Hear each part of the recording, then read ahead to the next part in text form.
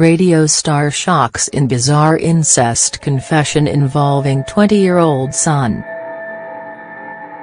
Radio star Emma Freud, whose partner is a Love Actually director Richard Curtis, admitted she would kiss her 20-year-old son if it was not so illegal.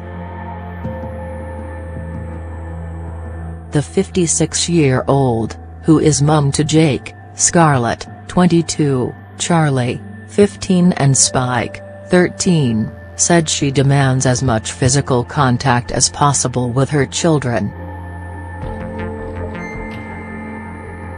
Emma great-granddaughter of psychoanalyst Sigmund Freud, one of whose theories said that every child subconsciously desires their opposite-sex parent made the incest confession in a podcast with McFly star Tom Fletcher's wife Giovanna.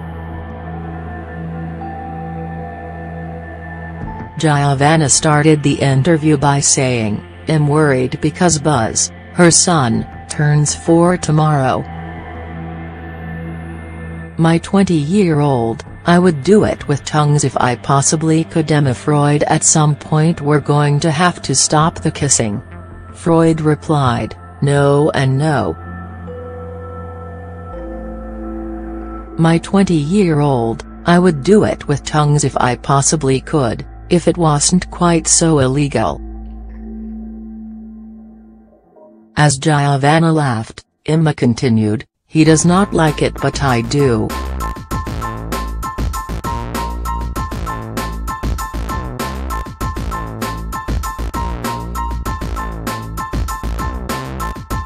No, you carry on kissing and you carry on cuddling and you carry on snuggling and holding their hands as you walk down the street. They will shrug you off a lot, but at any moment they don't you sneak the hand straight back in and cuddle. Emma is also the daughter of politician and broadcaster Sir Clement Freud.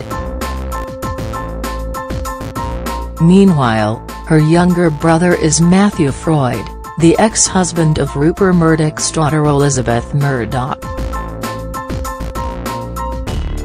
She has been a regular contributor to Radio 4's Saturday Miscellany Loose Ends, hosted by Clive Anderson. The broadcaster has also previously appeared on Radio 1.